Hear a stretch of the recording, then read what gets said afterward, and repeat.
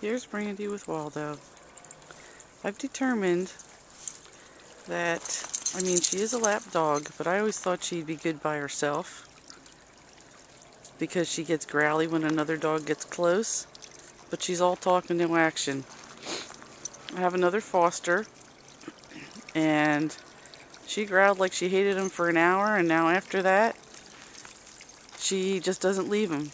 She coaxes him on to play, and she pounces all over him. She really enjoys it. Um, she is the alpha dog. If you have a submissive male dog, um, that would be great. Waldo, get down. Come on, Brandy. Come out of there. Come on, little girl. Come on. Yeah, this is what they do. This is what they do. Growl playing. And most of that is Brandy. I don't know why. She likes to growl play. And Waldo is playing. He's not getting beaten up by any means. She's been doing this for the past half an hour out here. So, she would be great with another dog that does like to play and does like companionship. Just needs to warm up. So, like I said, that might be an hour. But she is a lap dog and she really enjoys her humans. She likes to have the lap. She wants to be the boss. But um, she's just a sweetheart with uh, with whoever she really enjoys her human. She does bark when people come in. That's her barking time. And then once they're in, she'll settle down. Um, She's a little standoffish with men, but we've had her for two weeks now. And she definitely is trusting my husband. If he sits down and talks to her, you know, usually all the dogs will go up to him and she's going up to him too. So she knows who he is. She's she just focuses a little bit more on one person.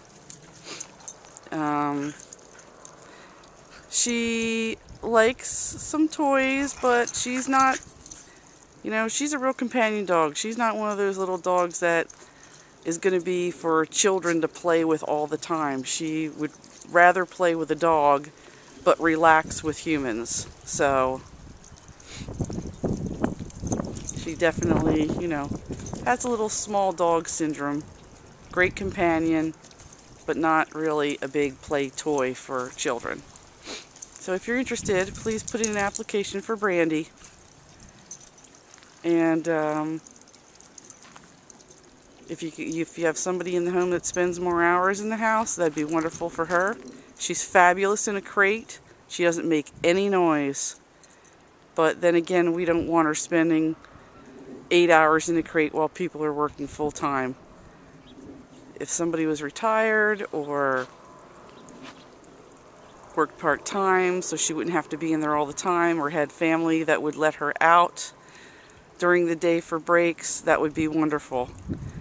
I say she is housebroken only because she generally will not go in the house as long as you're taking her out and she does not go in her crate. If you do forget about her and she's been in the house for over three hours running around, she'll probably, she probably will go. But she's still learning and she's well on her way and she knows that she's supposed to go outside. Come on, Brandy!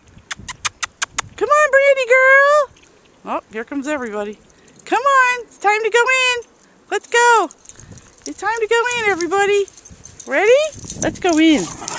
Oh. Come on, let's go play inside. It's too cold out here. Let's go. Come on. Come on. Let's go. Inside. Inside.